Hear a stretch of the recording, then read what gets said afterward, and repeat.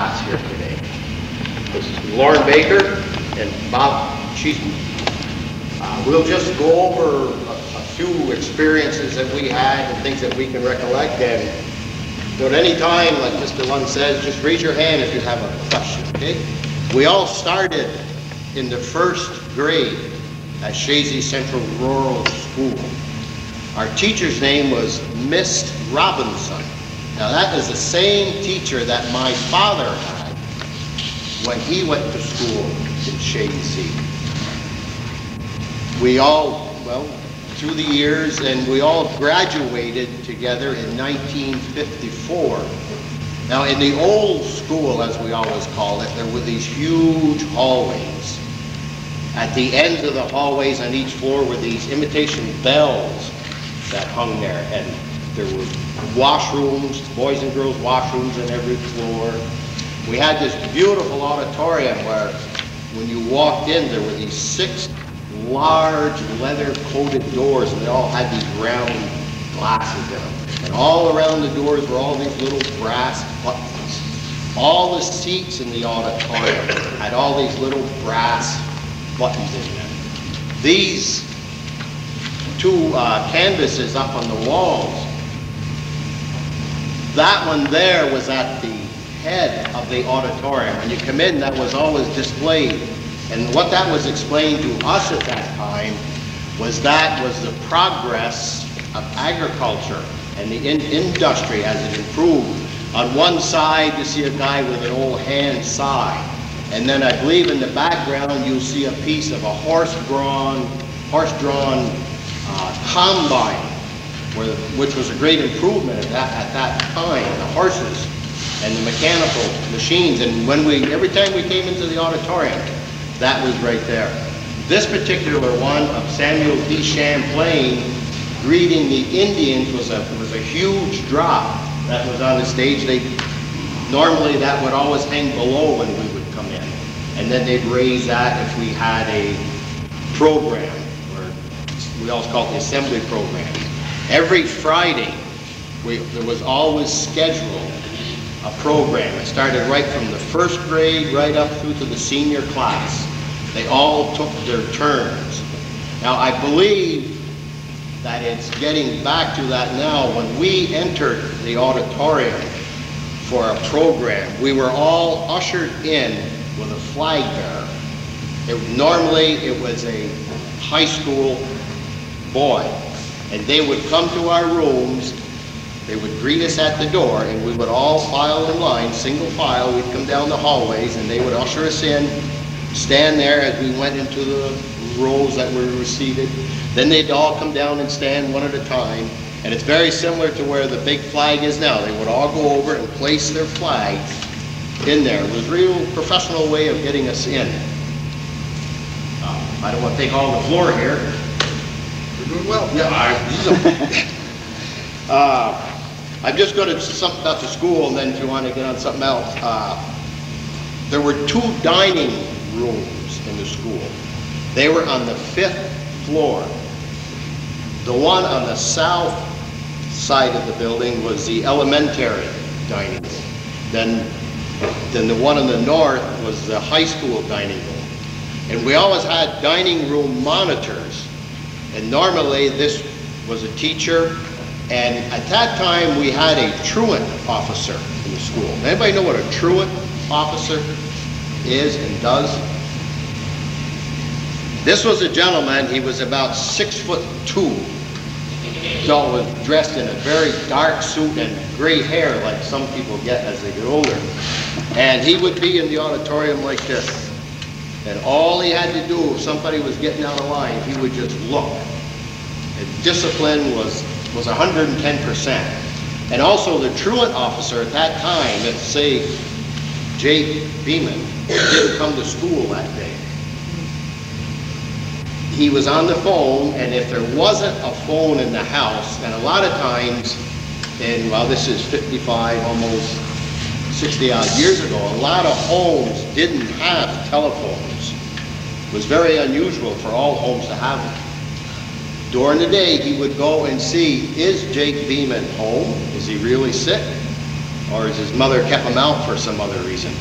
Normally, it didn't happen in the younger classes, it was probably when they got into high school and junior high, because in the spring of the year and in the fall of the year, a lot of the older boys and sometimes the girls had to stay home to help with the farming. See, we all, at one time or other, grew up on small farms. And like today in this area, well, if you think of the North Farm, Mr. Rovers has a huge farm. Well, if you were to go down Route 9 and say five miles south of Route 9, there were probably at least 10 small farms. I, I think from here to five miles down, uh, the only farm that I can think of at this point is the Grigware Farm in, in, in five miles. And used to be at least 10 of them in that little area.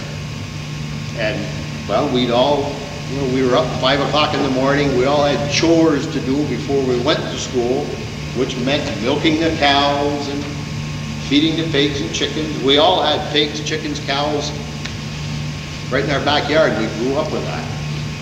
If we needed eggs, well, we went out to the chicken coop and we collected the eggs. I can remember a number of times on Saturday afternoon or Sunday, we were going to have guests or we were going to have the Sunday dinner, we would go out and literally catch the chickens out of the chicken coop and we would, well, I would say kill them, and we'd dress them and we'd prepare them for the meal. Well, today, I guess you probably go to Sam's or Walmart or one of these other places, you get your chicken, it all comes wrapped in a nice little frozen plastic bag. Well, we used to go out and chase them around the chicken coop and bring them in the house and mom would cook them. So, I'm gonna, you gentlemen, Mr. Little, How much time we got? Oh, you got as much as you want. Well, I'm gonna start off a little earlier. I started, I was born in 1934 and lived in the country, uh, on a small farm. Uh, in 1941, I started school, a country school, uh, with no facilities. Eight classes in a row. We're talking about the, the country schools that surrounded the area before this district. I was in the West Chazy district. Uh, eight grades in the school, uh, with one school teacher. Uh, We started with, uh, first grade was blackboards on the left-hand side, you're facing the front. And then the blackboards went away, all the way around the front of the school. And the teacher would start to give us a test. She started first grade through eighth grade. And you would go as far as grade. If you were in third grade, you would go as far as you could go on that blackboard, answering questions, and you were graded on that. Uh, Most of the time, all tests were, and all your studies were recited out loud from the teacher. There wasn't a lot of people in the class, anywhere from four to six. Uh, The school had a, there was no running water. We had outside back houses, what they call it back house, that was our bathroom. One for girls and one for the boys. Uh, No running water. We drank from, uh,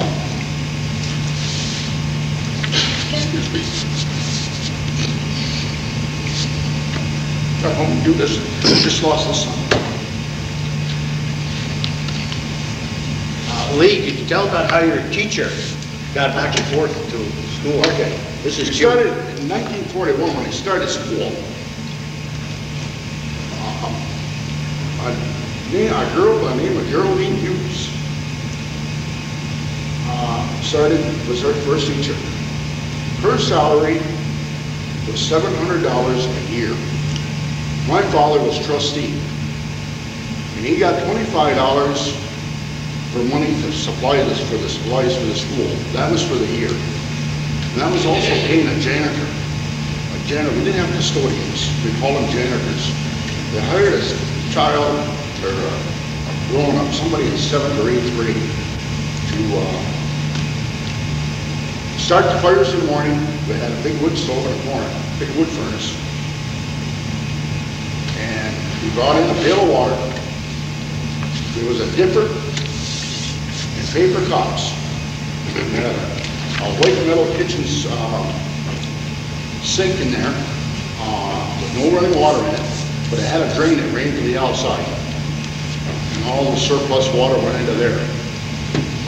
Uh, You washed up, if you had to wash your hands after went to the bathroom, was full water. And that came out of that water bill also. Uh, Teacher, after she retired, she moved on to another, she went to another school. We had a uh, lady by the name of Mrs. Friend, Marion Friend, was our school teacher. And she came to our, uh, school noon time, they lived on a farm down there, on horseback. And this is winter and all. And during real bad days, she stayed at my wife's uh, home, which is about a mile away. Um, In order to get, so she wasn't caught in the storm with the horse, and the horse had, they had a building at the school, for the school, you could have the horse in. And we feed that horse at noon time, oats and hay that was brought up by her husband during the week. Uh, I don't know if you guys do. The, uh, the school was located on a very small, about a quarter acre. This, in fact, that land, the school is being lived in now, and it's the same size lot. It's in West Chazy, it's off the Stratton Road.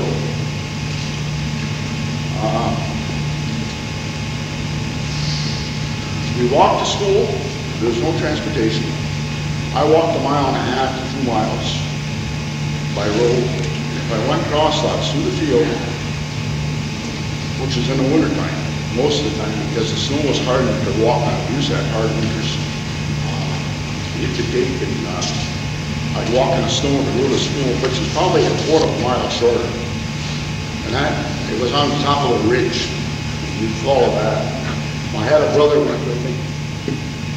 And that was our means of transportation, you know.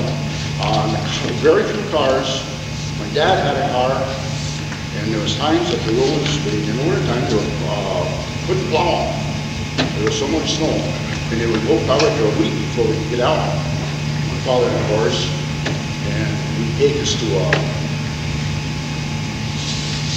the store or whatever, take us up, go pick us up at school once in a while with it. If the horse was, uh, the snow was hard. They, uh, we didn't have electricity. We had, uh, just kerosene lamps. And, uh, let's see, what else here? That's what we did our homework. We didn't have, we had wood stoves at home. We took in, uh, for the winter months, my people, we buy what they call staples, we buy supplies for winter. They would buy all their flour in bags, say 25, 30 bags of flour. And they buy lard for cooking and sugar. And that was all stored in containers. And my, my dad butchered, like we lived on a farm, uh, he would butcher pigs. Uh, And they'd have salt pork. In the summertime, they'd eat salted pickles. These were all kept in rocks. We had, uh, mom did all the, the bacon, baked her own bread. Uh, The cans, we didn't have canned food. You didn't go to the store and buy canned food. It was all preserves that we put up at home. And there was everything, you know, we raised our own uh, pears, apples, uh, plums, berries, and that's what was through the winter months. And then nineteen forty-eight, I moved to Shade City.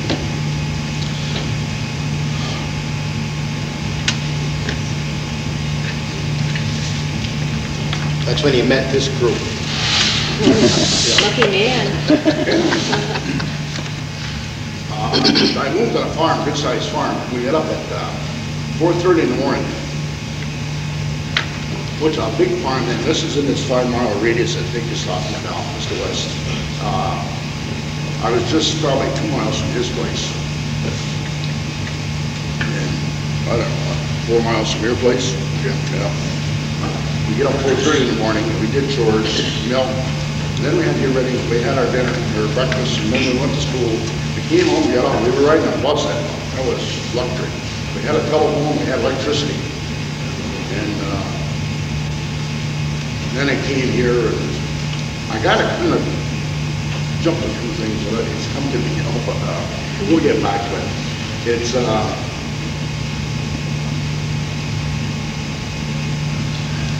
I met these fellows here and what was it, seventh grade? Fifth grade. Fifth grade. Yeah. And, uh, we've been friends ever since. Real close friends. We- We came up We'll let with, somebody else think over it. Mr. Beggs, this man is never lost for words once he gets going. Well, I've been part of this group since first grade, I guess. Uh, I was born, brought up on a farm. Farmed it all my life, but trying to get back to what Lee said, I didn't ever have to go to a, a one-room school, I always went here. But we all, we had our chores to do.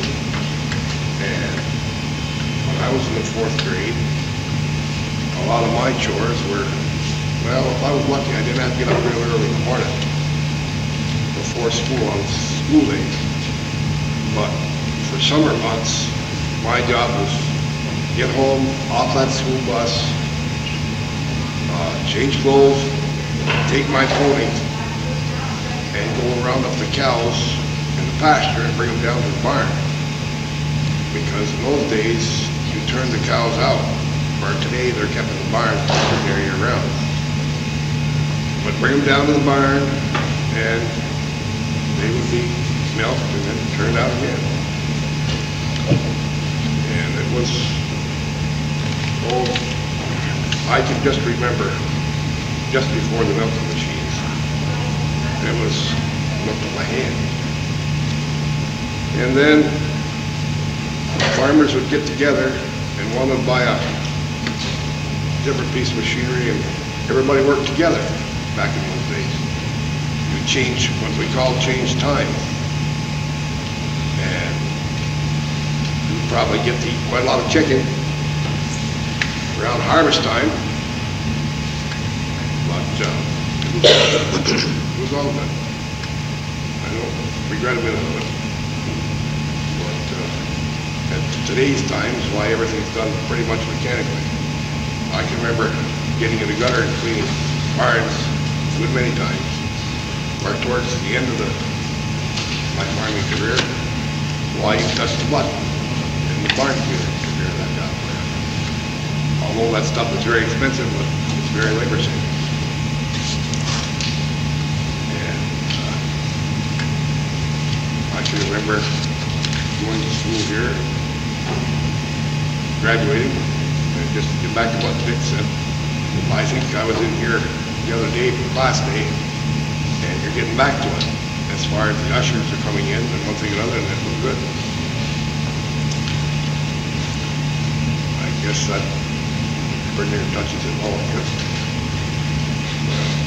You just, uh, when we were fourth and fifth grade, we used to go up to Gerald's house. Would just be during the spring of the year when syrup and the sap time. And your mother always had, uh, had us in for uh, syrup on snow, Colored wax on some, yeah. colored wax on snow. We'd go out in the snowbank with a little tin or whatever, and we'd compress the snow into a tin. We'd go back in, this mother would have the syrup boiling on the stove, and they'd pour that on the snow, and it was, It was very delicious. Anybody had that? Yeah, We used to do it back 60 years ago, too. But we'd go out into the snowbank and just get it and push it into the tin and Had to be careful of not giving yellow snow. That holds true today, too. Mr. Baker? Yes. I've got a- some pictures here. I thought I'd pass around while I was talking. I do want them back. This, our fourth grade teacher was Miss Brown. I can only find her in the 1951 yearbook, but if you want to see what our fourth grade teacher, is a real sweetheart, very good, dedicated teacher. She's right in the center of this bottom picture. And all of, all of you are in this picture? No, we're not in that picture. Okay.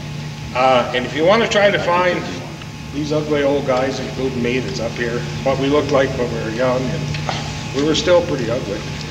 Uh, You probably can pick us out of this picture here, because that's our fourth grade class, boys and girls, then the boys and girls separate. You won't find Mr. LaDue in there because he didn't join us until the next year. Uh, You want Patrick? Here's another one. Another copy of the same thing that That- That's a little, was blown up for the same thing. And David, why don't you start that? Something no one's touched on yet that I think I'll talk a little bit on is, I'll talk about our fourth grade year and what led us into it. We all got out of fourth grade in 1946. That's 54 years ago. Uh, 1946 was right after the end of World War II. It was quite an exciting time because we could do things like we couldn't do before, like go to the grocery store and get a candy bar. Because during World War II, sugar was a short, in short supply, and so there weren't any candy bars, for instance. You had to have a ration coupon out of a book to get a certain amount of candy from the store. So these were exciting things. People were starting to get new cars again. People were starting to get new farm equipment. And I too grew up on a farm. I grew up between this guy, and that guy over there, down Route 9. Um, We had 20 cows on our farm. We did all our work with horses in 1946. We had taken over from my granddad. My granddad lived with us, as my mom, my dad, me, I'm an only child, and my grandpa. And my grandpa had not modernized through the years before, before World War II. A lantern in the barn was fine with him, milking cows by hand was fine with him. He loved horses, he didn't want a tractor. So he worked with horses. So when we took over on the farm in 1942, none of the modern things were available. We didn't have electricity. We had electricity in the house. We had no running water. We had an outhouse which was really connected to the house, so you didn't have to run outside to do your business, but it was pretty cold out there. Uh, We didn't have a bathroom on Saturday night. We had a big wood stove, had a big tank on the side called a re- a reservoir. It had warm water in there, and we had a big tin tub. And you would pour the water into the tin tub, and you'd take your bath in the kitchen, which is quite different than today. We had uh, no running water in the barn. We'd have to send the cows out of the barn down to the spring twice a day, even in the cold weather, to let him get a drink.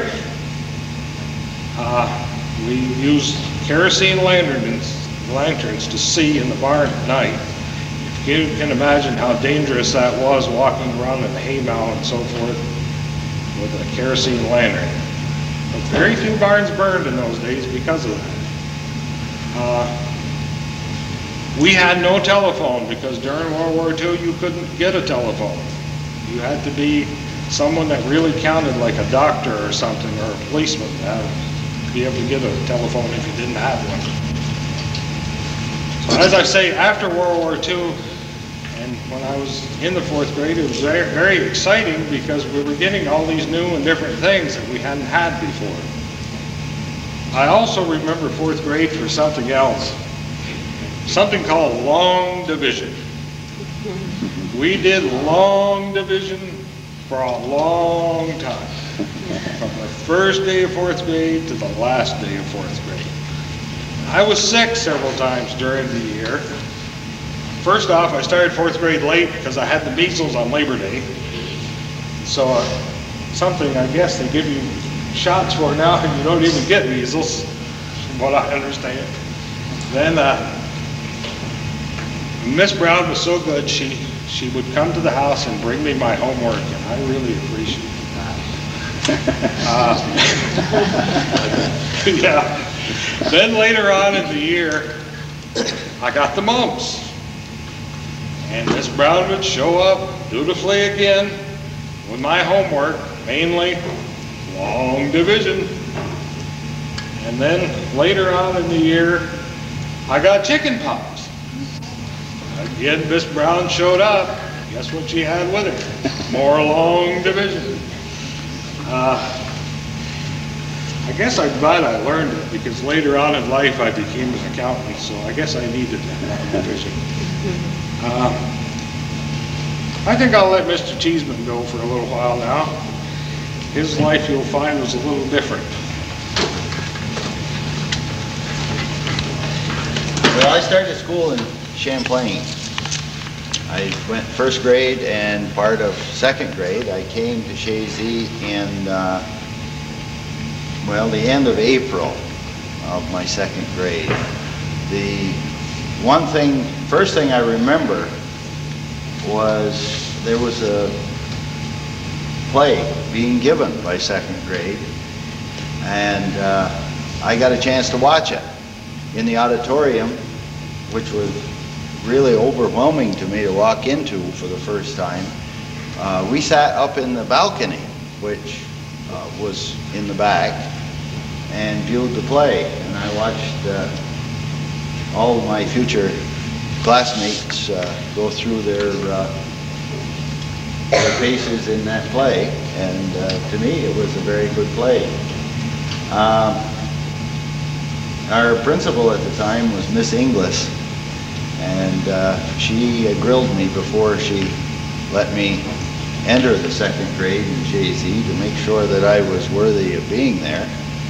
And uh, luckily, I answered the questions she asked correctly.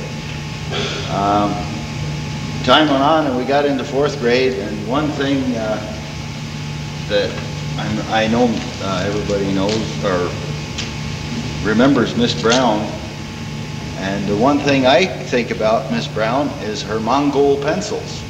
Where she was quite an artist, and she was trying to make us all realize that we had some potential in being artists. So, every one of her fourth grade had to have a box of these colored pencils to draw and make pictures. Uh, Christmas cards, it uh, was one of the big things I remember. Thanksgiving, we had all made our turkeys and other things that uh, looked pretty nice on paper. Uh, during that fourth grade time, as Mr. Baker said, that uh, it was right after World War II. And during World War II, a lot of the things that were transported were by train. And all the trains were pulled by steam engines at the time. I lived in the middle of the village in a house right across from Riley Ford. And uh, I lived there for two years. I had a chance to watch the trains go by and uh, see all the uh, military vehicles and tanks and whatever they would carry. Uh, I watched uh, with great interest. And from that, uh, most of my spare time was spent at the railroad station with the ticket agent, and uh, I'd watch him as he took uh, his uh, uh, telegraph messages and sent them, and learned how the signals worked uh, in the station to notify the trains of what to do. He had a a window he could look, uh, sort of a bay window. He could look up and down the tracks. And he had levers to be able to raise and lower the signals. And uh, mail time, all the mail was brought in by the train. So there was three or four boys that used to play at the station uh, along with me, and we always had to be there at mail time. Uh, The main trains uh, with the mail would stop. They'd unload freight and the mail bags, but there were the flyers that would come through. And uh, they'd kick the mail bag off, and the station agent would have to go find it to bring it back for the man that was going to uh, take the mail to the post office. And to get the mail on those flyers uh, without stopping the train, they had an arm assembly that would uh, just kind of hold the mail bag suspended between it, and another arm in the train that would hook the mail bag and bring it into the car. And that was done probably at 50 miles an hour when the train would go through. But that was my biggest uh, pastime, spending time at that station. And of all the things that uh, we did, and some of the things we shouldn't have done, uh, we survived it all, and uh, it was a lot of fun. But uh, I, uh, these boys were all farmers. I was the oil man's son. But my father was a farmer years ago, and uh, we always had pigs and chickens, and later on we had a couple cows. Uh, the younger cow was sort of a pet of mine, and uh, I used to ride her around. I was small enough so I'd get on her back, and she'd let me ride her, and we'd go all over in the pasture, which was a lot of fun. And I never got any trouble with it. Her horns were just right, so if I let lean forward, I could hang on to them. Um, when uh, the school we were in was a very large building, and it was a very interesting building. And it was, uh, well, something that will remain with all of us in memory all our lives because they, we won't see another building like that uh, for a school, I don't believe, uh, in any time in the future. But uh, it was, it was a very interesting time. Another thing that we didn't have, you guys are all uh, interested in video games, and you watch TV, and you've got computers. We had nothing like that. We had uh, come home from school, do our homework, and if we didn't have work to do, we listened to the radio. There were programs on uh, the radio that uh, were like the Lone Ranger, Jack Armstrong, Terry and the Pirates. We'd listen to those, and of course, we had been to the movies a little bit, so we had visions of what things might be like. And uh, you would sit there and listen to the program, and you could see what was going on in your imagination, which was uh, almost as good as the TV is today. In fact, sometimes I think it was better. Um, There's a hand that went up right there. whereabouts? Actually, radio is kind of like a TV. What? You said you didn't have anything like TV, but radio is basically TV. Well,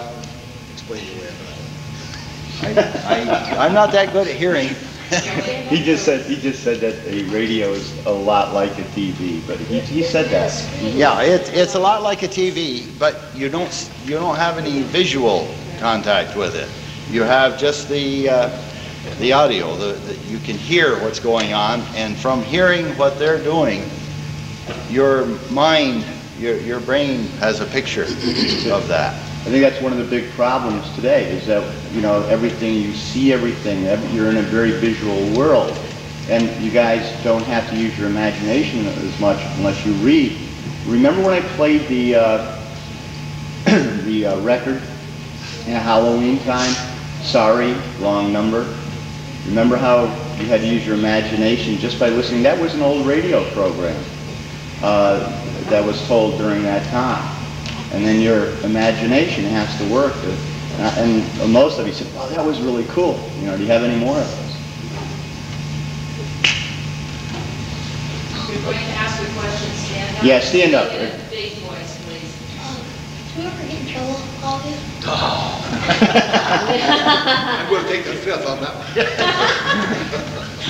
We, well, we all, we all got in trouble at one time or another for one thing or another, but, Nothing real uh, serious. our, the discipline back in those days was a lot, uh, more pronounced than it is today.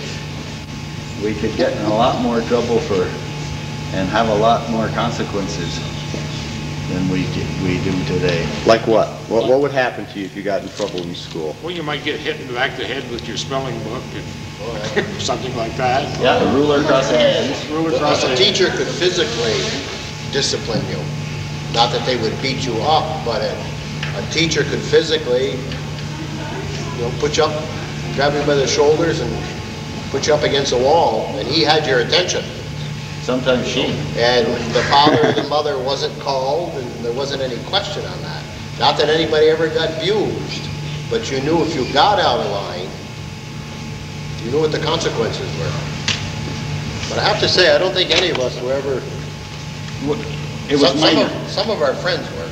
Mine, minor. We were very good.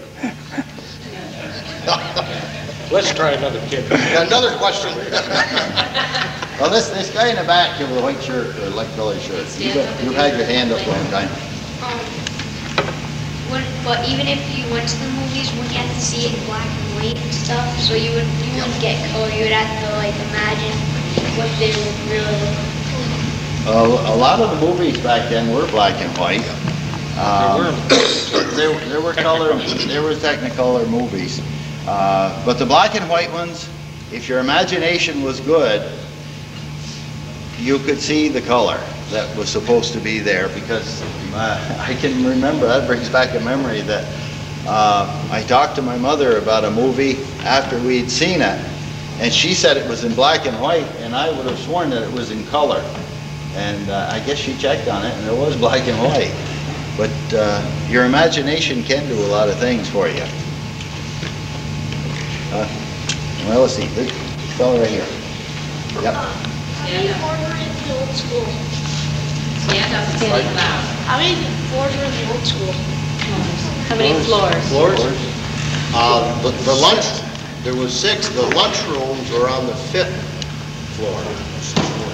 And to get to the lunchrooms, there were stairs, that, but also in the elementary lunchroom, the children were taken up by elevator.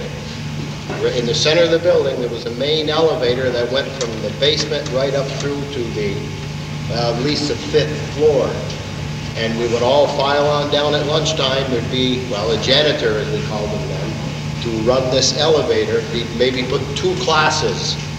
We'd Take, they'd take us up to- to the floor, and then we'd file around to the elementary lunchroom, and the same thing when we came down. In the elementary lunchroom, the stairways were only used as an emergency exit to get down. But in the junior high and high school, we had to walk up to the fifth floor. And there was these huge white porcelain tables in there. We all brought our own lunches too. There wasn't any cafeteria going at that time. We brought our own dinners and you would sit with your own class in the lunchroom. It wasn't mixed, you know, the sixth graders stayed together and whatever. The redheaded gentleman. What was it like, the, the first color movie came out? Well, like the first color, just like it is today, really. Only thing we enjoyed it a lot more. Uh, the First ones, well, we had one, Strand Theater and, uh, Champlain Champlain Theater. uh, we did end up with one in Chazy when we were in high school. There was a theater in Chazy. But whereabouts was Where that? the post office and Main Street Market are today. It was a garage and they converted it to a movie theater. That took place after the war. They had one in Champlain, Rouse's Point, Moore's, uh, owned by Kennedy people. Uh, Cheryl Sweets, down at the lake, Uh-huh. Yes. His wife's family. How- much did it cost you to go to the movies? Fifty cents. Fifty cents? It must make me older. I remember going for a quarter, Yeah, we went to Champlain Theater, was 25 cents. 25 cents. Strand Theater was a 30, the elaborate theater that cost you 50 cents. Wow. Popcorn. We went to the Champlain Theater more often. Yeah. Popcorn was between 5 and 10 cents a bag. I hear now down in Plattsburgh, I don't know, is it 8 $10 a bag? Sometimes they use old potato bags to put it in. That's all. Jake. Oh, can you tell us a story about um, when you got in trouble? Because he knows you got in trouble, and you aren't getting out of this, see? How much money have you got? You got enough, I'll tell you. If not, we'll let Jake tell the story. How's that? well, I'll tell you what discipline was, uh, and it it was, there's nothing wrong with it. We were uh, juniors, high school. And there were certain things you weren't supposed to do, and anyway, I did one of the things that Wasn't supposed to do. Well, make a long story short, uh, finally caught up with them. It was nothing terrible bad, but, uh, anyway, so I was suspended from school for two weeks. My parents had to go see the principal before I could go back. And it was, uh, and this was probably one of the more lax principles that we had through the years, because the one previous to this gentleman, well, I probably never would have finished school if she'd had happened to it. Jake, I'll get you for that.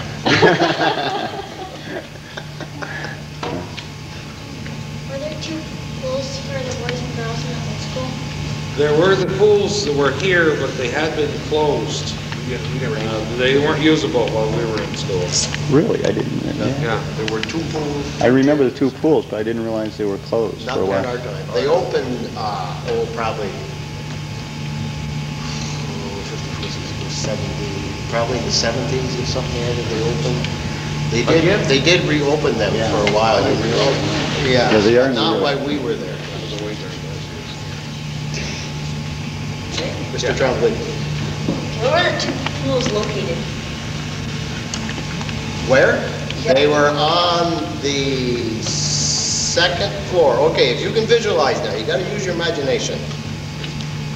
Say the, they had these long hallways running east and west of the building, like they ran parallel with Route 9. Okay, the, the auditorium was at a right angle to that. If you can visualize, you know, running with Route 9, well, you, off this long hallways, on the first floor, way down were basement areas, which I don't think we were ever allowed to go in down the basement, the hallways went, and we never went there. You come up on the main floor, which was a grand entrance. Uh, I'll get to where the pools were, but you come in this entrance, and there were marble stairs going up to the main floor, marble walls, beautiful plastered ceilings. We were not allowed to use that main entrance. I believe it was at class day when we were seniors. Class day and until we graduated. Yeah. That's the only time students could come in that main entrance, was after our class day in our senior year. But anyway, as you would come in there, there was another long alleyway, hallway that went back to where this main elevator went. Now, that was the second floor. I'll go back down to the first floor. There were two homemaking rooms down in the first floor. See, there was two, almost two of everything that was separated by this long hallway that went back to where the elevator is. You get up onto the third floor, that's where the auditorium was. You would, and it faced same direction as this is. You'd come in those huge leather-covered doors that I spoke about with all the brass buttons on. And where that auditorium was, the gym, there were two gymnasiums, a girls' gym and a boys' gym. There were huge doors that opened into the gymnasium on each side. like for graduation or even class day, or if there was a special program where more people were going to attend than what the main auditorium could hold, these huge doors would open into the gyms on each side, where they could probably seat another 150 people in each one. Now, the pools were on the second floor, right below that. You had, you had the, down, down the first floor, you had the two homemaking rooms. The second floor, you had the two pools. The third floor, you had the two gymnasiums on each side of the auditorium. Then, on the fourth floor, I know just, oh, okay, the, the fourth floor actually was the upper part of the auditorium and the upper part of the gymnasiums. They were higher rooms than normal. Above that were the two cafeterias. Um, did any of your radios have batteries? Yeah, yeah. First radio we had was nineteen forty, around nineteen forty, during the war. Uh, Before the, the war was just beginning, World War II. And, uh, that was a big thing then, because everybody listened to the radio.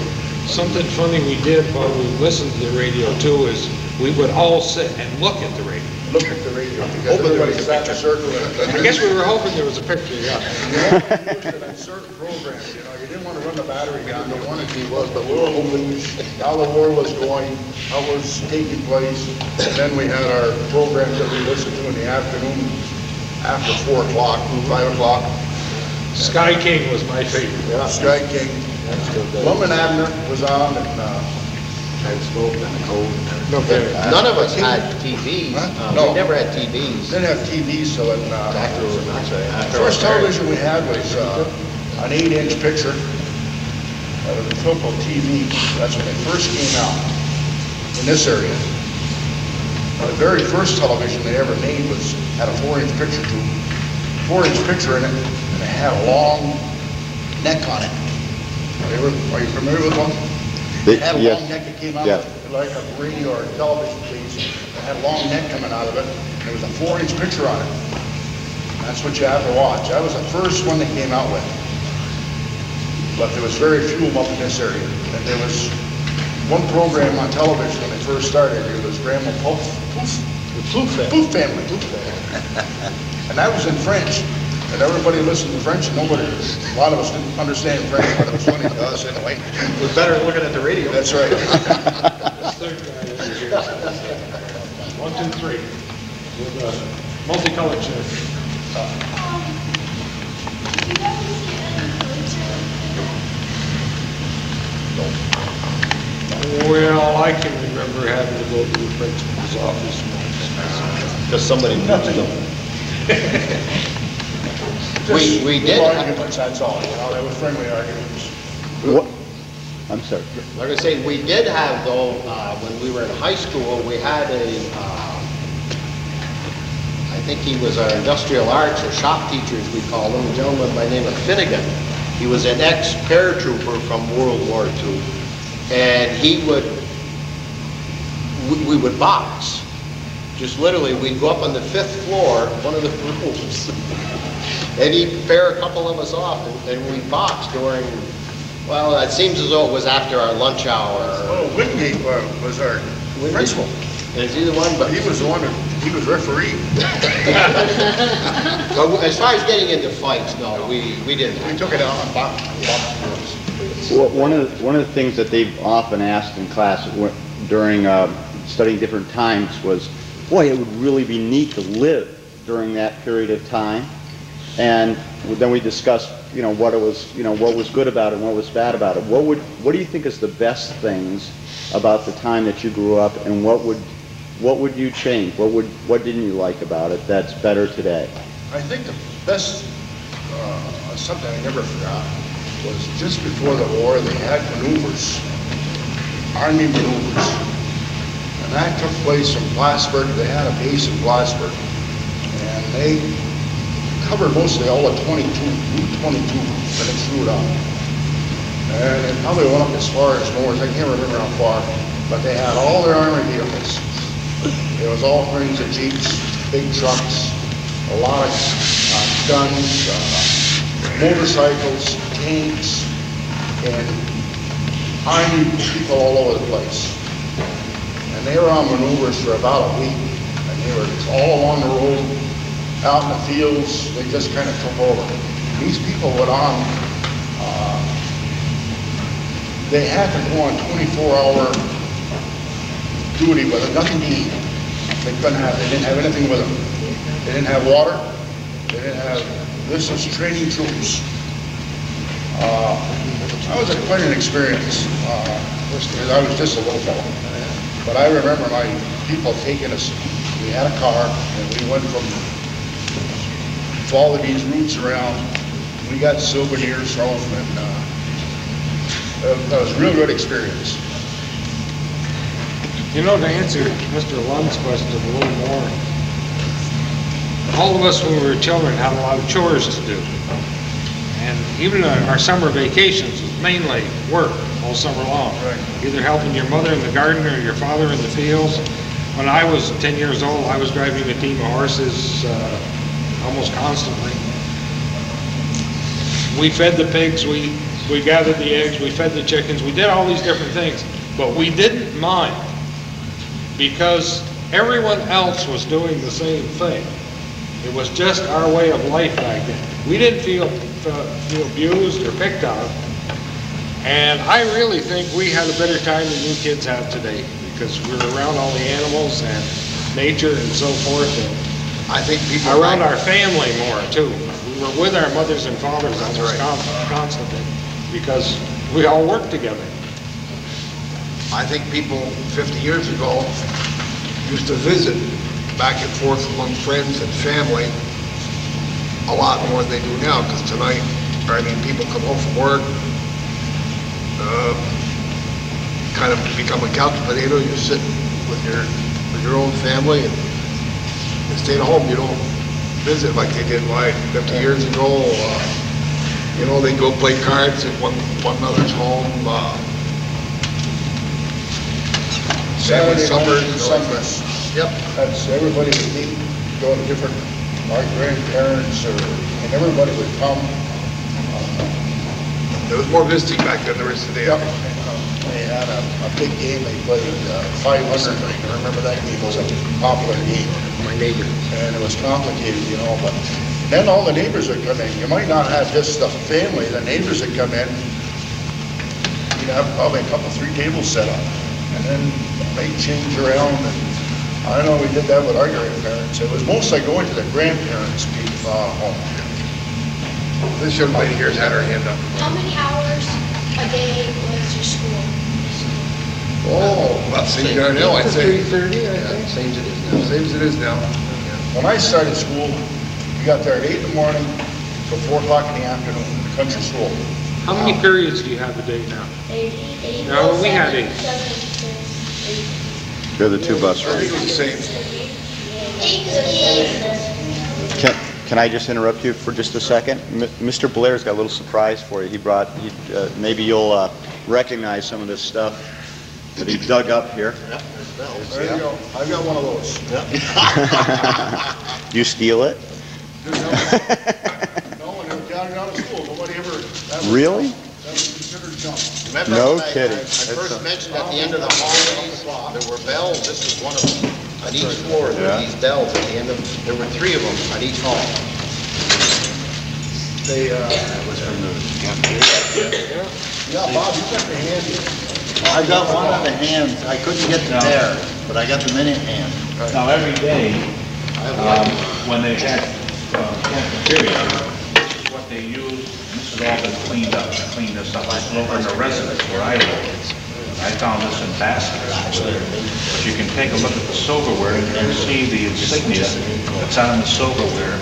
It Shows, uh, J.C. We used to also have, um, kind of thick.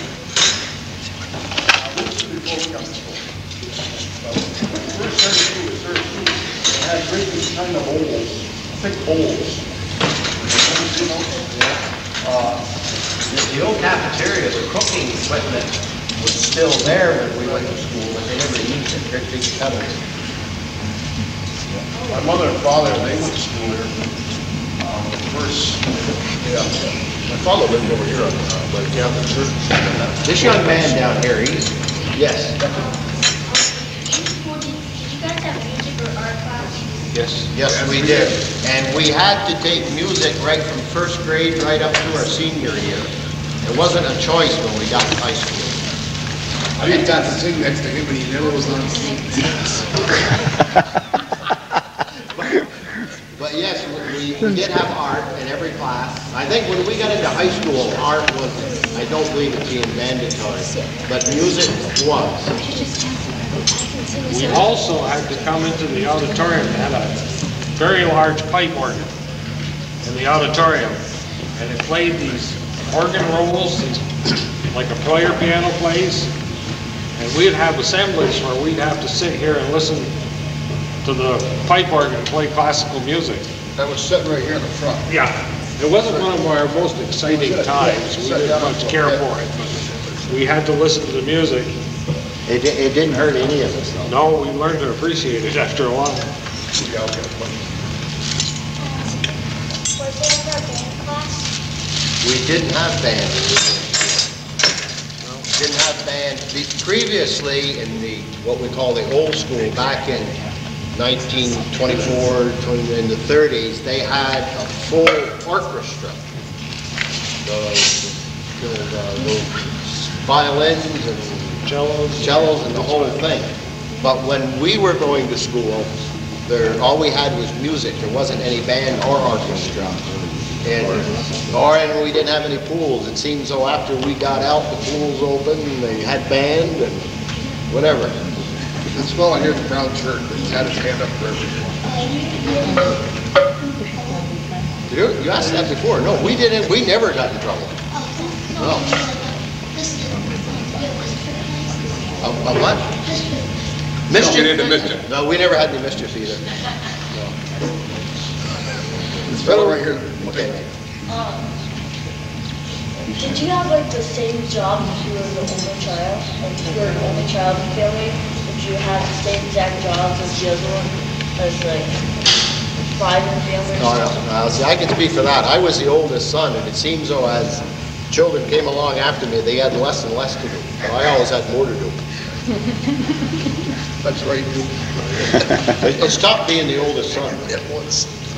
And then you got animals to take care of. We didn't get a chance to go out. Okay, how about somebody in the back row here? Okay, that gentleman. Stand up, please.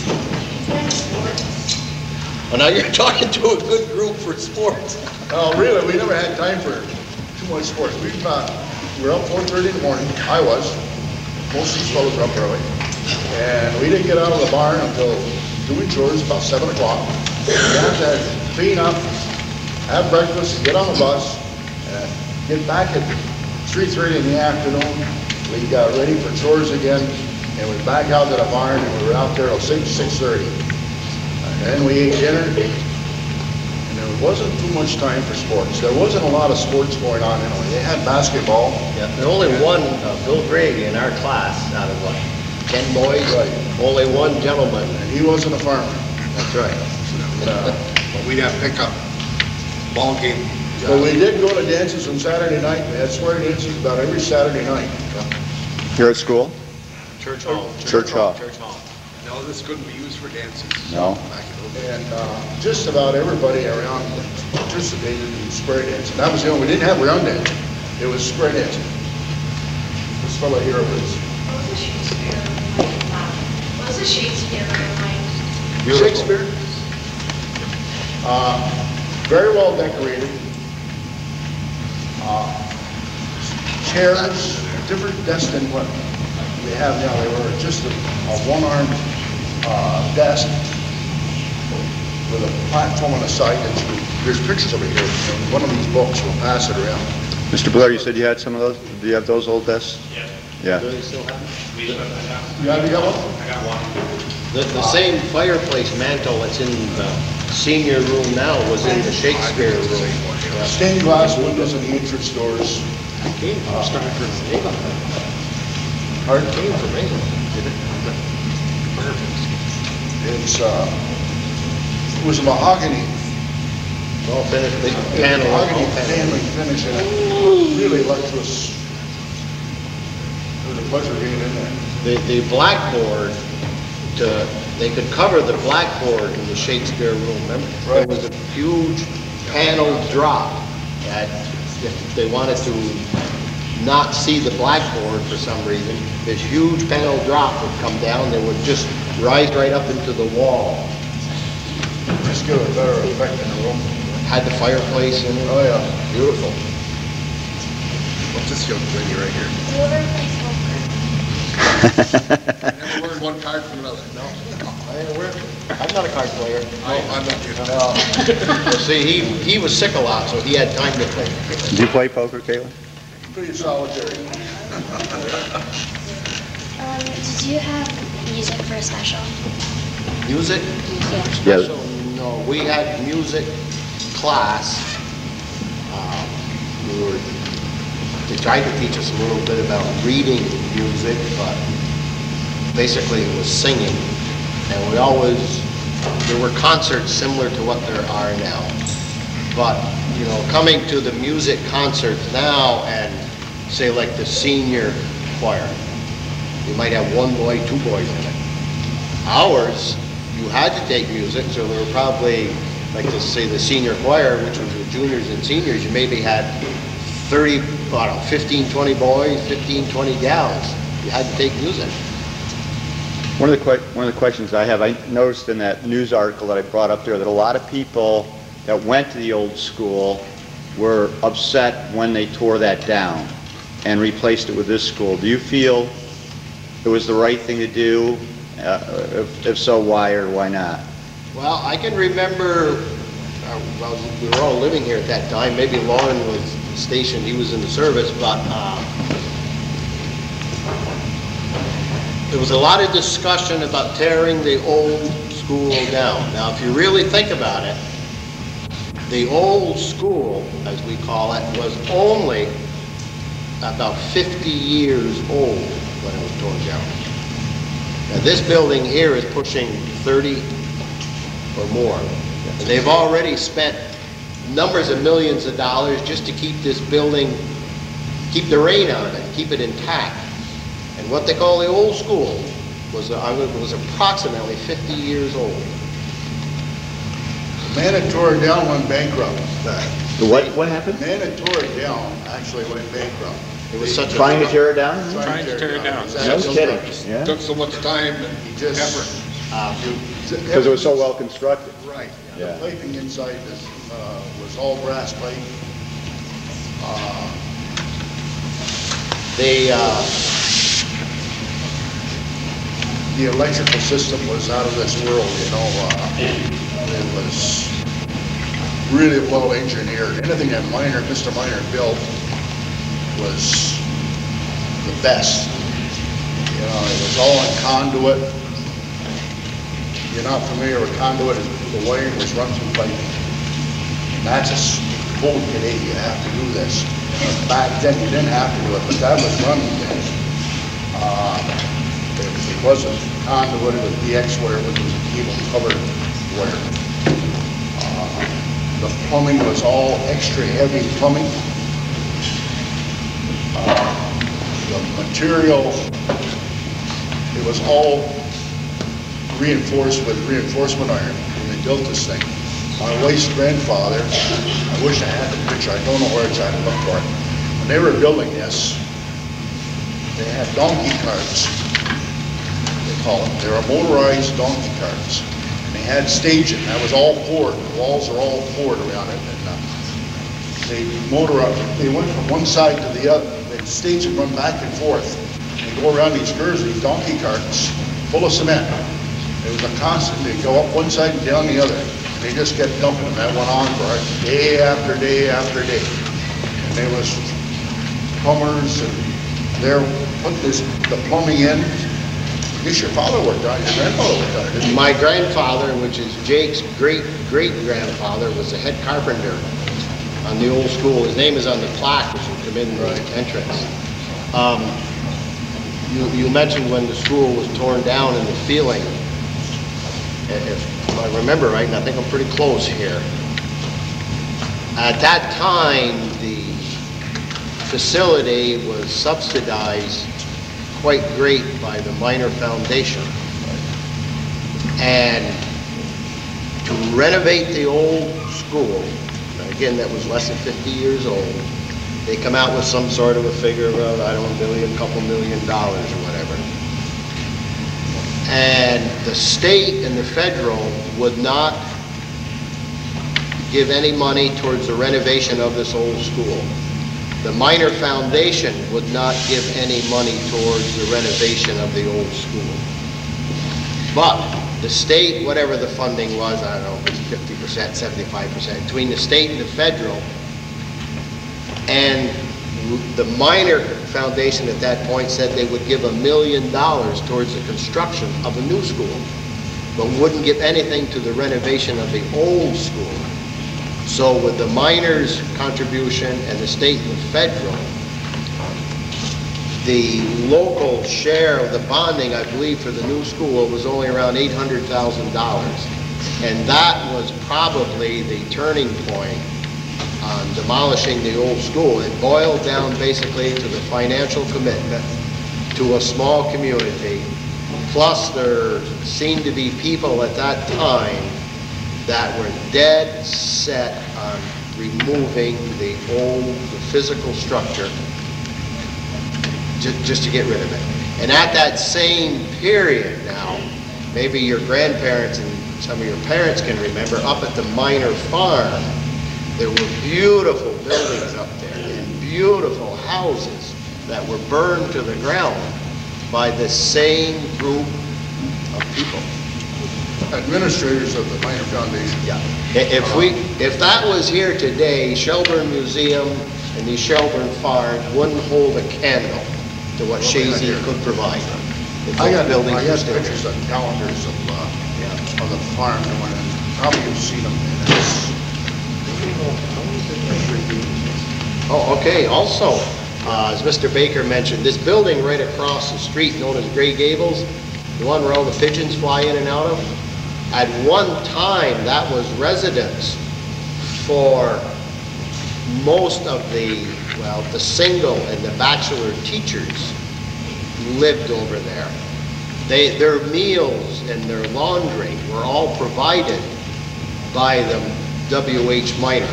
And this goes up into, oh God, into the 50s or whatever, but the teachers lived over at Gray Gables, and there are some apartments on one side of it where the Marion teachers lived. But that was all run by the same, same people. And the, the heat was all supplied from the school. Along with the, the manse over there, the Presbyterian manse, Museum? the museum, was all supplied. And the sidewalks that the teachers cleaned up on, and the students, the heat ran underneath the sidewalks. And they were heated sidewalks, and, uh, radiant heat, so they never had snow on them. They never had to trouble.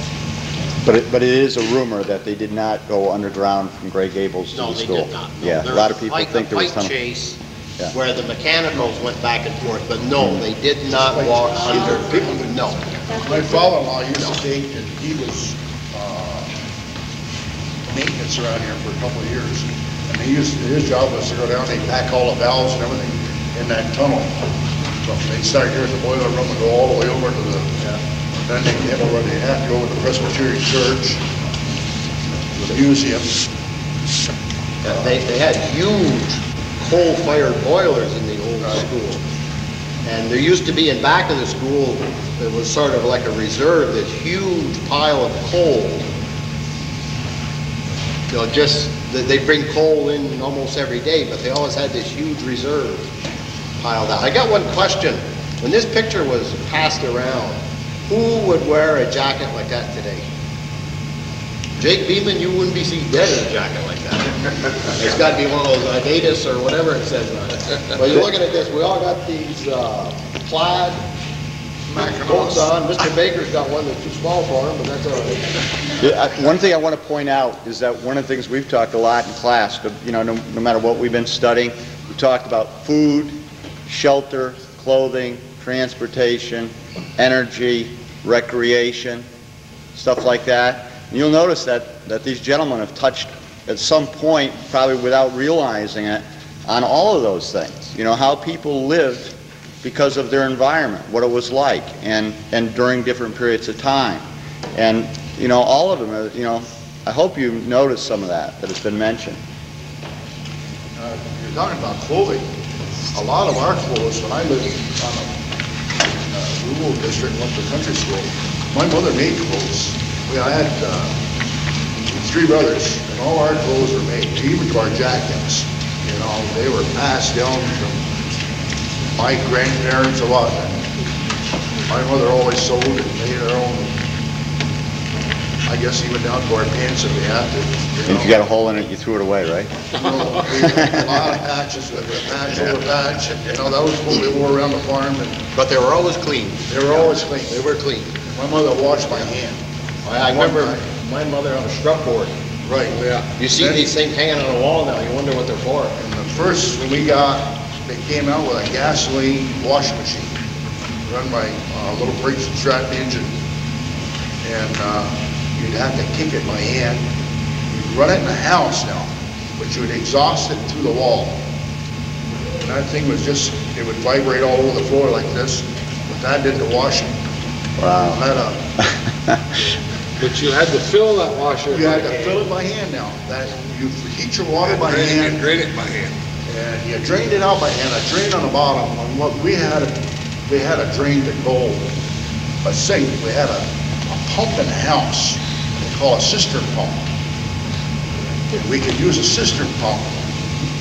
Uh, we pumped that up, and had a dry, what we call a wet sink. And that went out into a dry well outside, but that was our only running water. And My mother would draw water off of that, heat it, that's how we took our bath. It's quite an experience. Do you know what a cistern is? Yeah. Some of them better know. We, some of them actually, who did a report on it? Who did? Christina did, or, yeah. And uh, we just saw one up at Upper Canada Village, remember, in the Laux Farm Home? We had the dry, or the wet sink inside, and that, they had the hand pump, and that came from a a cistern in the basement. Mr. Kilman had a cistern in his house. That's where Mr. LaDue lived, that's right, that's, Where George lives, there is a cistern there. Uh, There was, but it's been taken out since. And the old-fashioned pipe that came down from the eaves, uh, they were all hand bored. That's where it was filled from. And the overflow was the same way going out. If it got too full, it would overflow and would run out. But those, that's tore out, but my son left that in the wall because it's kind of, well, where you used to live, Mr. Kilman lives, and the cistern is still that there, cistern is still there. still there. Yeah, that's right. And that we used to, when I went there, that was a coal furnace in there. My people put the hot water heating system in. But that was a coal furnace. My mother is the one that tended the coal furnaces. She's the one that made sure the fires are made in the morning because we were out in the barn. And at night, and you'd have to burn off the gases on this coal stove because if you didn't, you'd have to leave the door open, build up gas, you could have an explosion, you know, it, it was dangerous. But nobody, it's something you watched and that was a, that's right. Are any of you familiar with how Class Day started, or the history behind Class Day? Been that way ever since the city started. My mother graduated in 1933, and uh, they had class day, almost the very same class day we had in 1954. That's what I was told. It started with, Isn't this the only school that has that? that's the only school that's ever had anything like this. This is the only school that has that. I heard very good reports on this year's class day. It was excellent. And it was very, it was, it was heartwarming to hear it. compared to what you've, they've had previously. And, uh, It's getting back to what. It, it used to was be years the thing, it was more important than graduation. the only thing I've they've got to heard do that. is improve their speaker system. People had a problem hearing what was going on. If you were sitting way in the back, Okay. It was blurred. Each one had a mic. Well, you were, I think, sitting right, I was row or in two the ahead of me. Did you hear? Yeah. Yeah. It was, it was difficult. I, I, I got a problem, a little hearing problem, but, uh, We all do. yeah, and I just, we just couldn't pick it up. My Yeah. mother was living there with us, and she just didn't take anything in. Um, But those are things in the future. We used to have, when they had class day, like you were given, uh, the kids were all sitting around the table, they had a crystal ball. Oh, Borrowed from the museum. Borrowed from the museum, and they set the crystal ball, and each one take a turn and read off this, like a fortune telling, you know, and they would pick this out of the crystal ball and read it off, and they'd have their paper in front of them.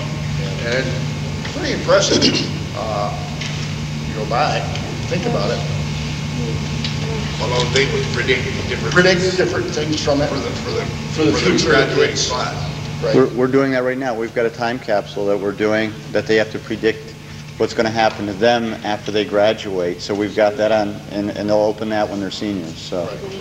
That's cute. Why don't we take a couple of questions here? And Who else? right there, both of you.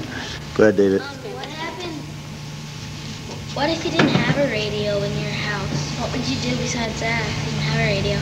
Well, I, I think we all had radios. That was, that, that was a big part of our entertainment in the evening. And one thing about the radio now, we go back to, okay, World War II. That was the big war. I think it was between five and six in the evening. There was news. And when the news came on during the war, this is from the 40s up through 45 or a little later, there was complete silence at our dinner table when the news came on, because that was the only, um, was the only news that people would receive. It's not like constant TV today where you can turn on one station somewhere and find out what's going on in the world, but that was it. And they would tell all the cam- campaigns that the soldiers were doing, but I can still hear my grandfather, when the news would come on, he had to hear it, he was a little hard of hearing, every, anybody made a noise, he'd go, shush, shush. Listen, I remember too, as a kid, where they, you'd go to the movie theater Sat, Saturday matinee, and they would have newsreels there at the movie theater because not everybody had TV. Right. And, and you would see clips. You also had serials, which you would see like a, a- an ongoing kind of uh, story. It might be Captain Marvel or Superman or something like that. And then to get you to come back, they would show you just a portion of it and they would cut it off. And then they'd come back the following week to see the next sec- segment of it. And you were talking about radio, what we did before, we didn't have a radio. Well, I can remember when we didn't have a radio, and at night, they'd have apples, make popcorn, they had a wood stove. and you sat around, my father would probably tell us stories or something like that, and that's where we said our prayers at night. Something else we used to do at night, we used to raise beans. Beans, Little white right. beans. Right. And we'd raise four or five acres of them. And in the wintertime, we'd sit around the kitchen table with a big lamp, and we'd have to sort those beans and take all the bad ones out.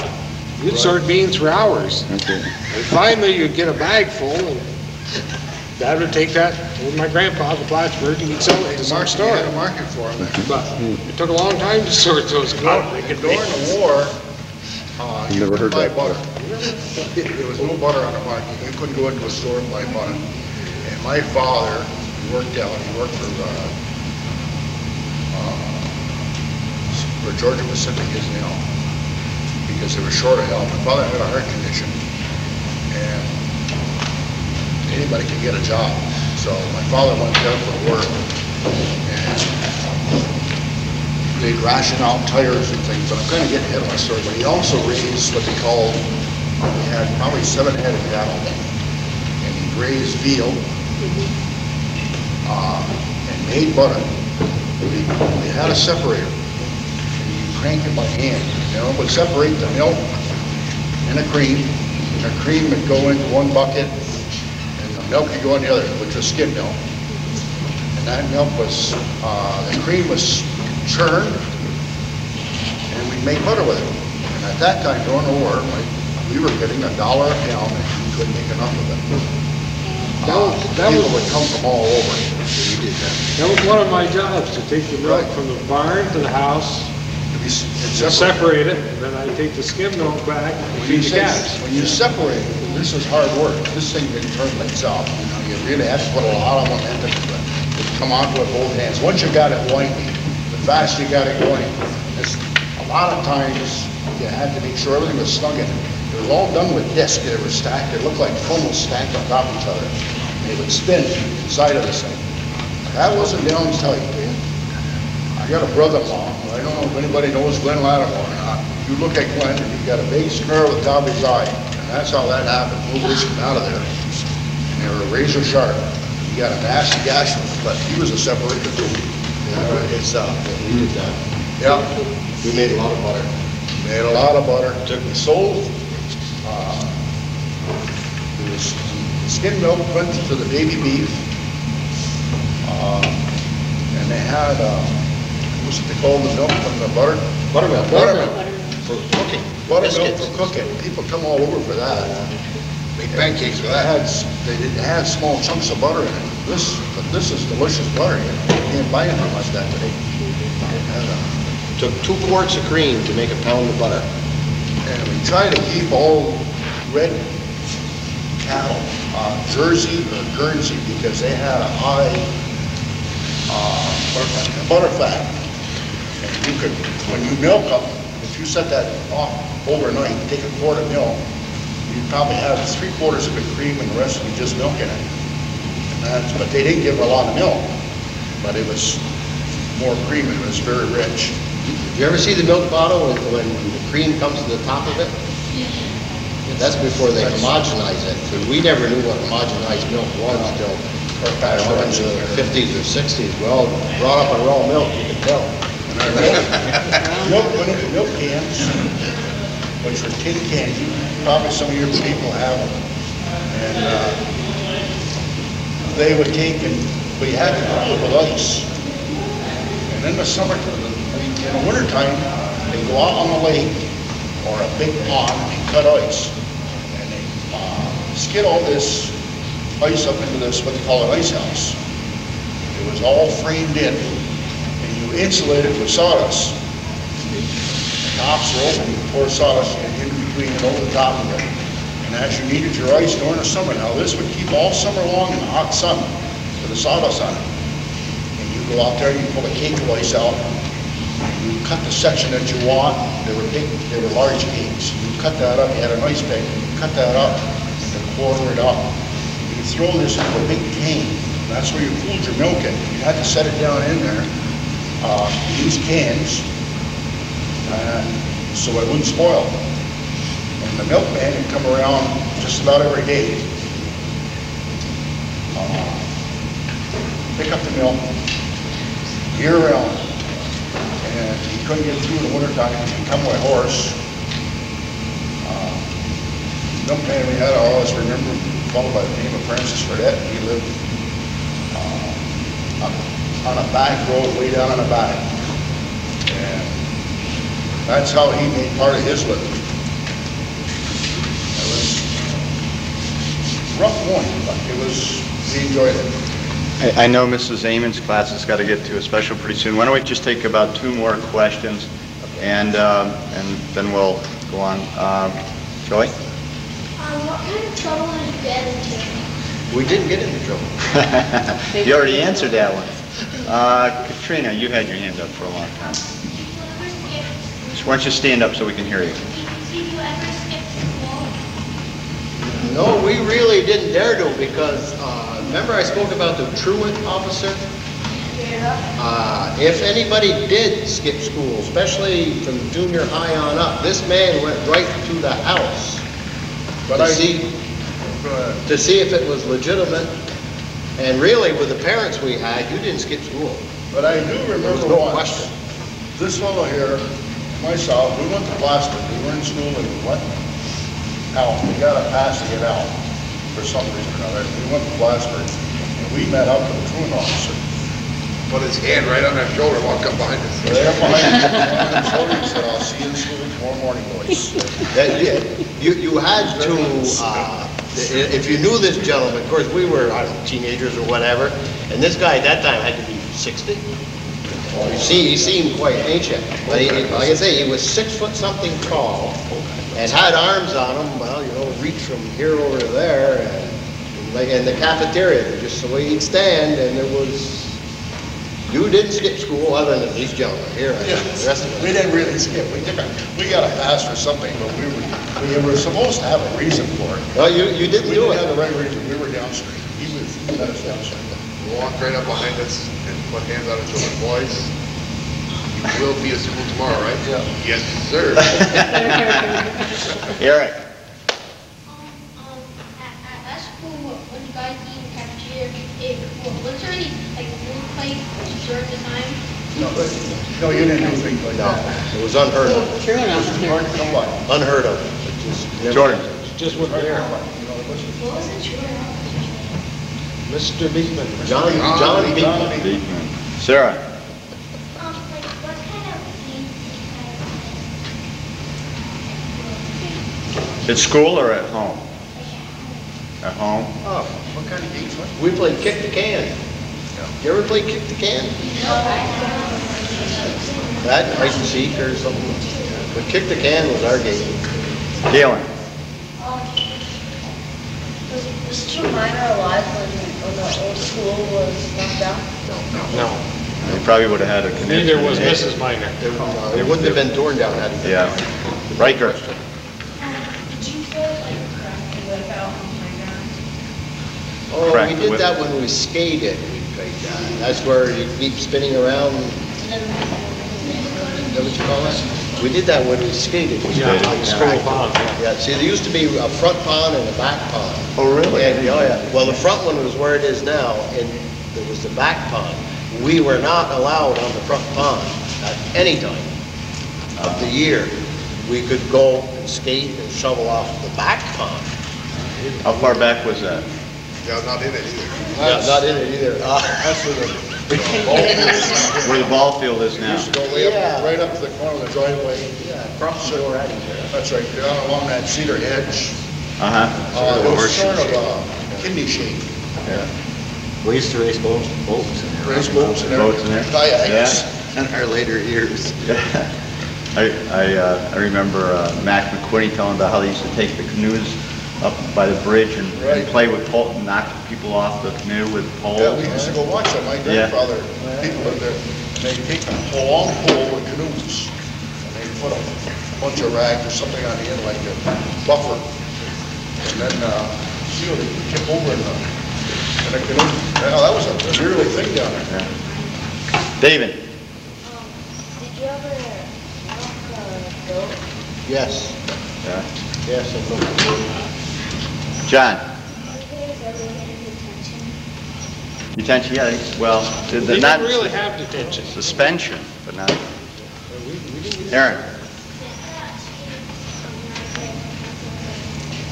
Do they write with pencils or pens? That's a different question for you. Oh, we had inkwells. Inkwell. Inkwells. Do you have any girls with pigtails? Yes. Oh, yes. I remember My wife was one of them. Uh, One, uh, you talk about uh, inkwells and stuff, punishment. When we were in second grade, we had this teacher, if you were caught chewing on your fingernails, your finger went in the inkwell. Uh, she got you. A lot of blue. Hear that, David? You have blue fingers. Carl?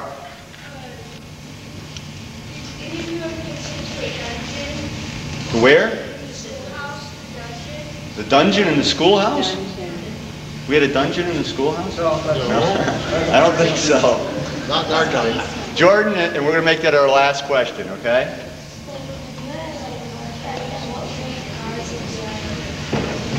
Could you say it again, Jordan? I'm not sure if everybody heard you. Back when you were in college and stuff, what kind of Ford, Chevrolet, what about? Yeah. LaSalle, Model A, Model A, Model. There was more Model A's and Model Ts than there was Chrysler's LaSalle. Yeah. Mr. Kuhlman, by the way, still comes to school on a horse, just like Mr. LaDue's teacher did. You know, he still rides his horse in in the morning. Probably it's the same horse. Yeah. I'd like to thank you so much for coming in and, and we really, really appreciate it.